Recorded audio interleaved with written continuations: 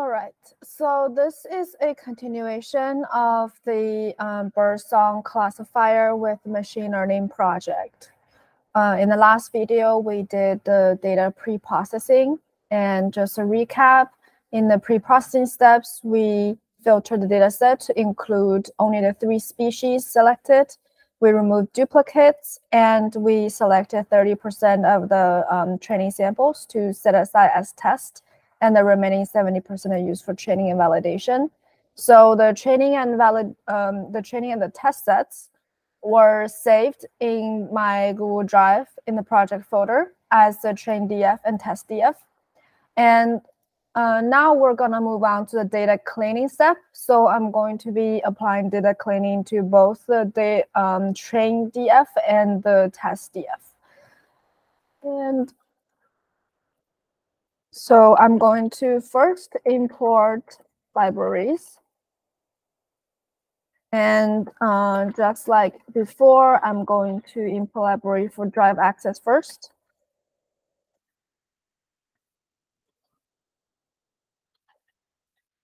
And I'm gonna have to mount my drive. Content slash drive.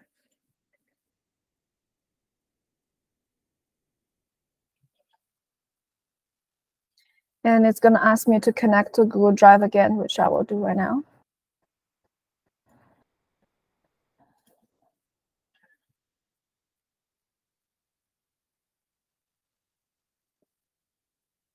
Okay, now the drive has been mounted. I'm going to import the standard libraries.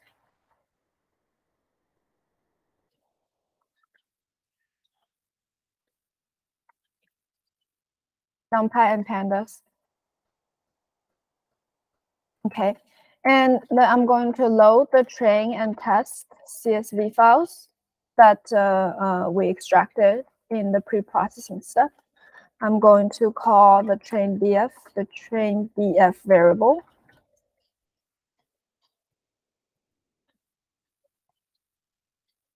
Content drive, my drive project and train df CSV, and I'm going to take a look at the first few rows of the train df.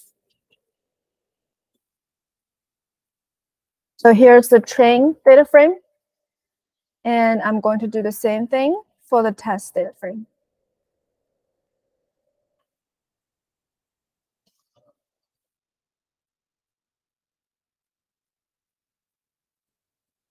Okay. Looks good. And I'm going to start my data cleaning process. So the first step is I'm going to inspect each column for any NaN-values, which are uh, not a number of values. Uh, to do this, I'm going to loop over all the columns. Yes, the columns. I'm going to print out the column name. I'm going to print out the value count. Nope. I'm going to print out uh, is no a sum, which is it will count the number of NaN-values in that column. And then I will print a little separator between each prints. As we can see here, um, only latitude and longitude contains NaN-values, which indicates that the latitude and longitude is missing. So let's see. Yeah, for example, in the train if we can see that this row for barswa, the latitude and longitude is uh, not a number, which means they're missing. So this is something that uh, we might want to um, take a look at when we work with the latitude and longitude columns. The rest columns looks okay here. And then I'm also going to step two. I'm going to inspect each column, any outliers, um, or anything that needs special attention.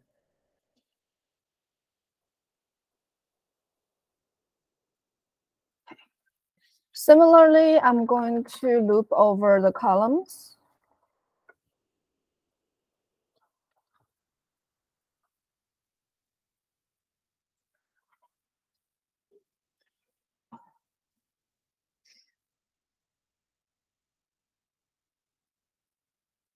I'm going to print out the value counts. Oops, column in.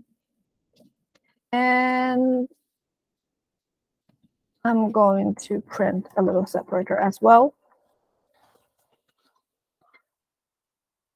Okay, so now I've printed the value counts for each of the columns. We can see that comsan and Iwakwang has slightly more um, instances in barswa, around 10 more. Um, it's not a huge difference, so I'm not very worried here. For the secondary labels, it looks like majority of them um, do not have a secondary label. So I'm thinking secondary labels, probably we can just drop. And to keep track of the uh, columns I want to drop, I am going to create a list of drop columns. So the first one we want to drop is probably secondary labels.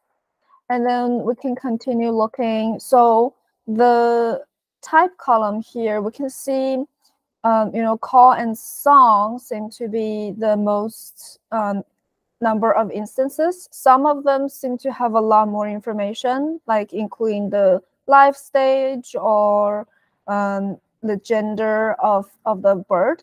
Um, this the gender and life stages is probably not something that we would need to look at since um, it seems like majority of them are just um, you know call or song. So this is probably a column that we'd want to clean up. So I'm gonna just make a list of the columns that we want to clean up.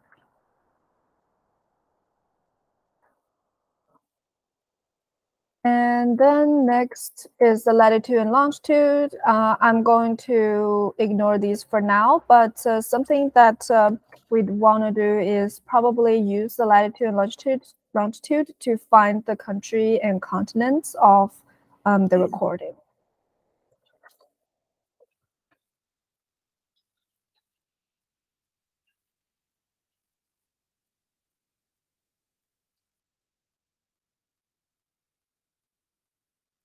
Okay, and then uh, I think for the scientific name and common name is just for our information. We don't really need it for the model building. So I'm going to also um, put them in the drop columns list.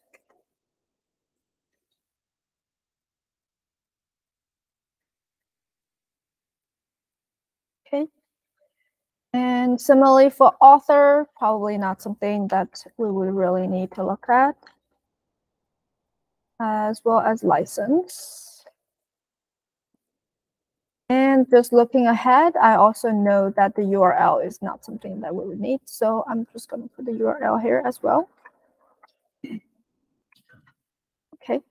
And uh, looking at the rating column, it looks like a majority of them are at least rated a three.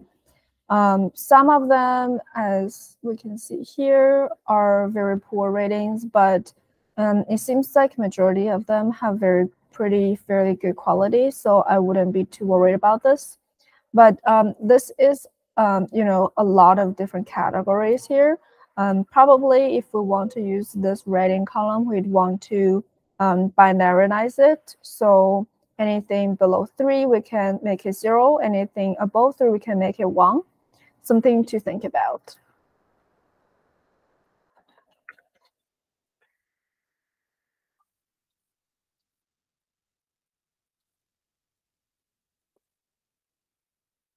And then we have the file name and the duration. So file name we can see is all unique. And the duration column is something that we can look at later once we do the EDA.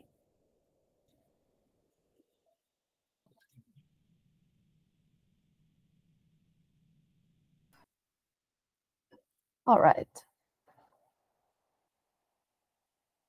So now that uh, we have uh, looked at um, each of the columns, we have a list of columns that we want to drop, which is these guys right here. I'm just going to move this down into a new section.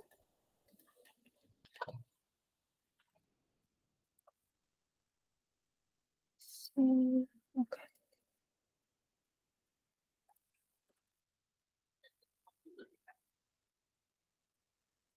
Okay, so I already put the columns I want to drop into a list. So now I'm going to use the drop function from uh, pandas to drop these columns.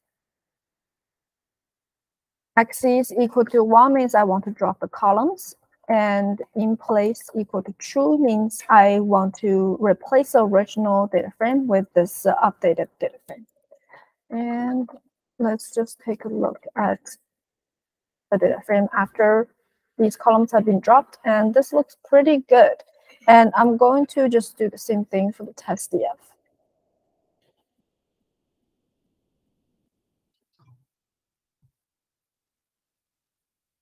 Right.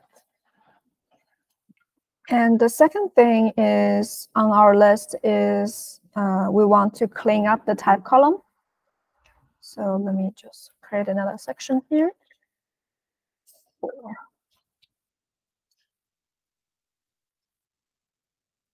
And um, before we clean up the type column, let's just take a look at what are some of the you know most frequent types.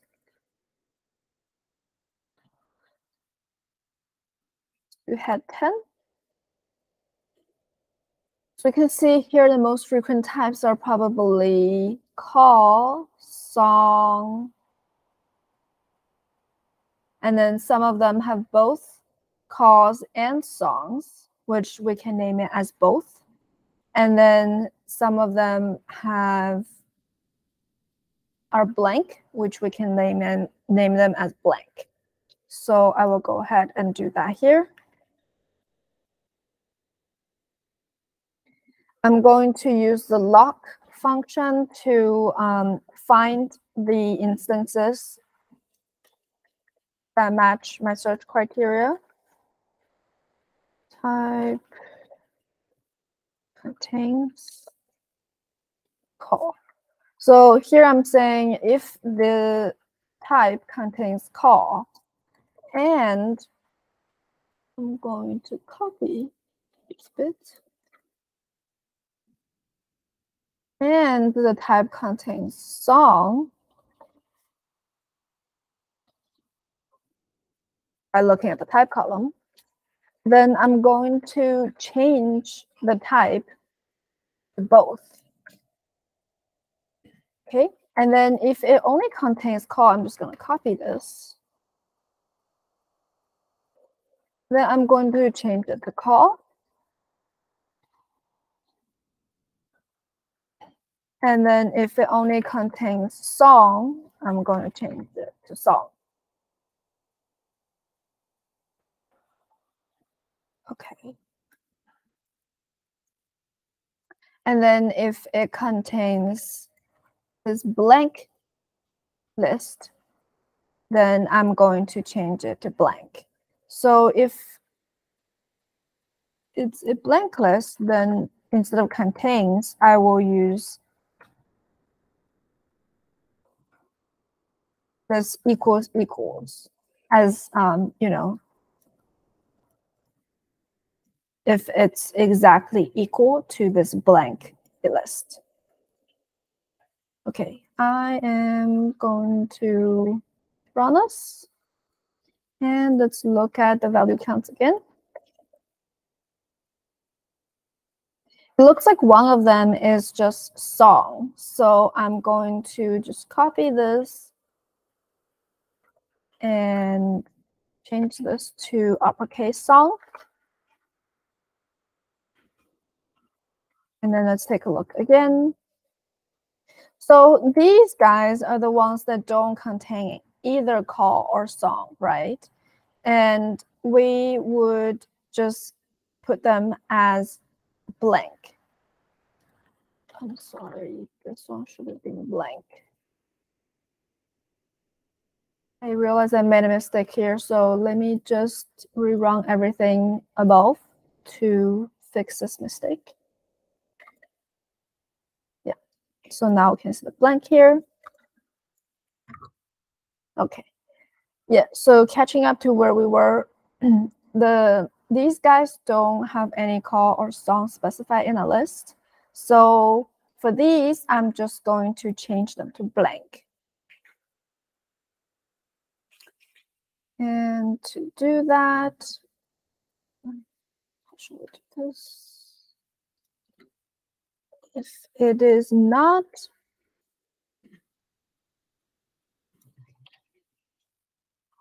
call,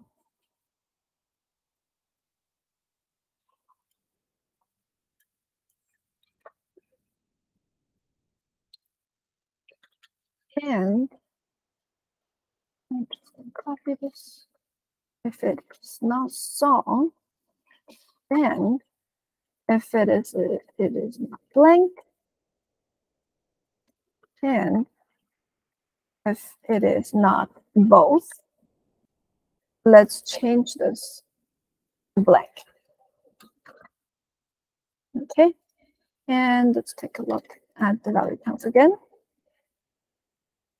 As expected, these guys have now been changed to blank. You can see the number increased from 120 to 126. And now the type column has been cleaned up. Okay. And I will repeat this process for the test data frame. So what I'm going to do is I'm going to put these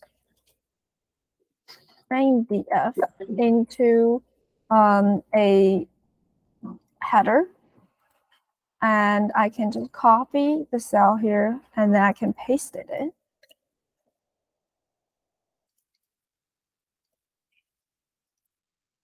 For test.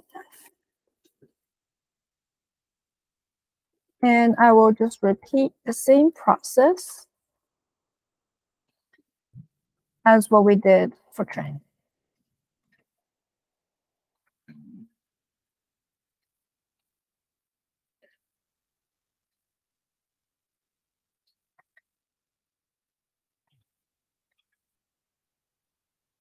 Uh, we can see here that uh, actually there's no um, instance where the string contains song. So with the uppercase S, so I'm just going to delete this because we don't need it anymore.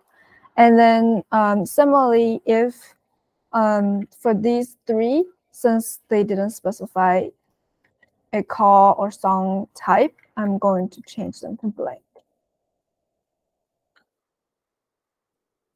And let's just review one last time. And as expected, we have four types. So now both the train and the test data frame have been cleaned up eh, for the type column.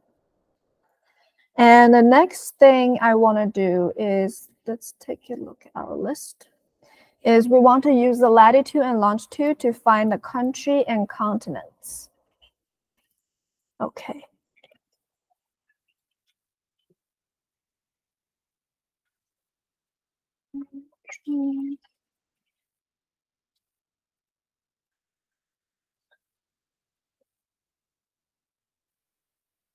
So I've decided to cut this video into two different videos um, as it's getting quite long. So as a recap, this uh, first video, we covered the first half of data cleaning uh, workbook where we loaded the data frames. We inspected each column for NaN-values and we inspected each column for any outliers.